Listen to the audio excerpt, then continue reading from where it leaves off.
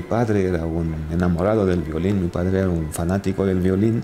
Así que yo cuando nací él me puso un violín en la barbilla y ahí se me quedó. Eh, y yo nunca tuve que tomar una decisión si quería ser violinista o no.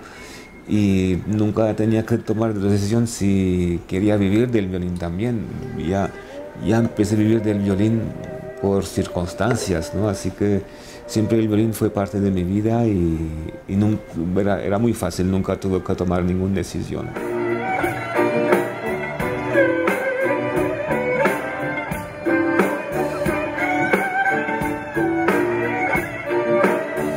En entrevista para Notimex, Ara Malikian compartió que se enamoró del violín, pero no solo por su sonido, sino también por lo que ha significado en su historia familiar. Este violín perteneció a mi abuelo y mi abuelo no era violinista, nunca tocó el violín. Mi abuelo sobrevivió a un genocidio, el genocidio armenio, un genocidio que murieron más de un millón y medio de armenios.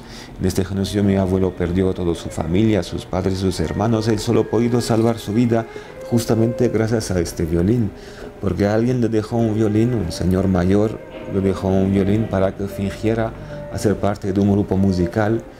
Él fingió haciendo parte de este grupo musical, así ha podido huir, salvar su vida. El violín le ha permitido explorar un amplio horizonte musical. Ara Malikian interpreta diversos géneros como clásico, jazz, folclórico y rock.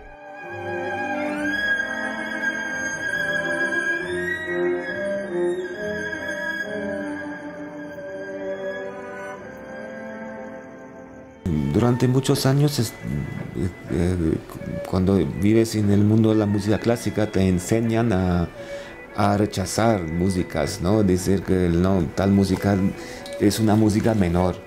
Eh, y, yo he aprendido a, deshacerme de estas etiquetas. Yo creo que no hay música menor o música mayor, es la manera que interpretas, la manera que se lo ofreces al público. Y es, yo quería hacer un experimento con el reggaetón porque es una música que, que, es muy popular hoy día, pero al mismo tiempo es muy criticado, ¿no? Porque la música que, que a priori parece que no tiene, no tiene fondo, ¿no?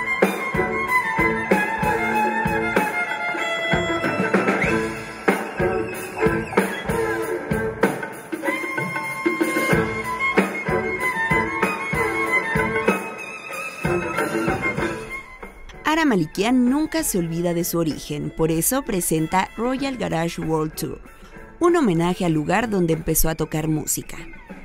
El próximo 30 de mayo llega este tour al Auditorio Nacional. El virtuoso del violín también tiene preparada una sorpresa para México. A mí me, emociona mucho la música folclórica, ¿no? la música tradicional mexicana por ejemplo, los mariachis, ¿no? que, la, manera que hacen música con el violín para mí es muy, muy enriquecedor, muy, muy inspiradora.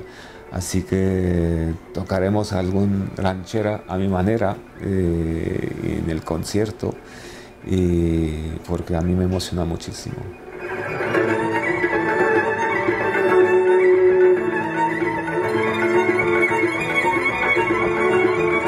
Con información de Claudia Pacheco e imágenes de Víctor Hugo López, Notimex.